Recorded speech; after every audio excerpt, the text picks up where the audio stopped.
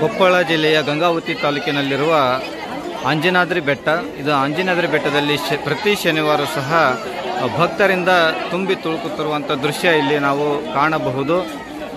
ವಿಪರ್ಯಾಸವೆಂದರೆ ಬೇಸಿಗೆ ಕಾಲದಲ್ಲಿ, ಅಂದರೆ ಬಿಸಿಲಿನ ಸಮಯದಲ್ಲಿ ಇಲ್ಲಿ ಭಕ್ತರಿಗೆ ತುಂಬ ಅನಾನುಕೂಲತೆ ಕಂಡು ಬರ್ತಾ ಇದೆ. ಏಕೆಂದರೆ ಭಕ್ತರು ಮೇಲಿಂದ ಹತ್ತಬೇಕಾದ್ರೆ ಬೆಟ್ಟವನ್ನು ಹತ್ತಬೇಕಾದ್ರೆ ಕೆಳಗಡೆಯಿಂದ ಮೇಲುಗಡೆ ಬೆಟ್ಟವನ್ನು ಹತ್ತಬೇಕಾದ್ರೆ ಬಿಸಿಲು ಬಿಸಿಲಿನ ಒಂದು ತಾಪಕ್ಕೆ ಅವರು ಸಿಲುಕಿ ಸಂಕಷ್ಟದಲ್ಲಿ ಸಿಗೋ, ಸಂಕಷ್ಟದಲ್ಲಿ ತೊಡಗುವಂಥ ಒಂದು ಸಂದರ್ಭ ಕಂಡು ಬರ್ತಾ ಇರ್ತದೆ.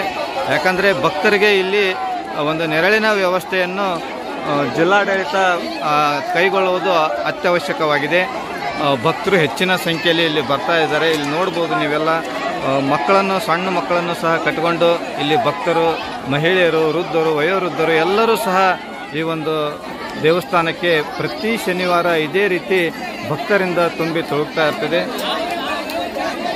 ಕೆಳಗಡೆಯೂ ಸಹ ಹೆಚ್ಚಿನ ಸಂಖ್ಯೆಯಲ್ಲಿ ಭಕ್ತರು ಅಲ್ಲಿ ಬರ್ತಾ ಇದ್ದಾರೆ. ಆದರೆ ಅಲ್ಲಿ ಬಿಸಿಲಿನ ಸಂಖ್ಯೆ, ಬಿಸಿಲಿನ ಒಂದು ತಾಪಮಾನ ಹೆಚ್ಚಾಗಿರೋದ್ರಿಂದ ಭಕ್ತರ ಸಂಖ್ಯೆಯೂ ಸಹ ಹೆಚ್ಚಾಗಿರೋದ್ರಿಂದ ಭಕ್ತರಿಗೆ ತುಂಬ ತೊಂದರೆ ಆಗ್ತಿದೆ.